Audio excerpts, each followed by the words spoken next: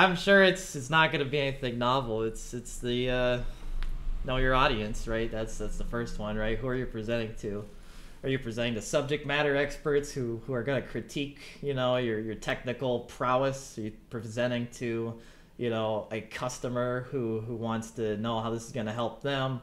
Are you presenting to somebody who has no idea what you're talking about and is there to learn something, right? It's, and you've got everything in between, and you don't necessarily know 100% where your audience is going to fall in those three categories. That's you know?